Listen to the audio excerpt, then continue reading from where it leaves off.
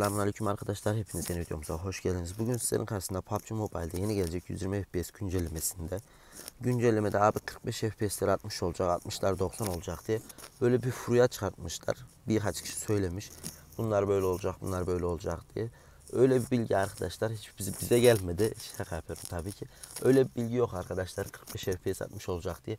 Öyle bir bilgi de yok, öyle bir kaynak da yok arkadaşlar. Yani nereden söylendiğini gerçekten bir arkadaş uydurmuş ve bir arkadaşın uydurmasının peşine takılmışlar bayağı bir kişi. Öyle bir şey yok arkadaşlar. 45 FPS'ler 60 olmayacak veya 30 FPS'ler 45 FPS veya 30 FPS'ler 60 veya 60'lar 90 olmayacak. Eğer cihazınız güçlü şu an 90 FPS destekliyorsa 120 FPS geldiğinde 120 FPS özelliği açılabilecek.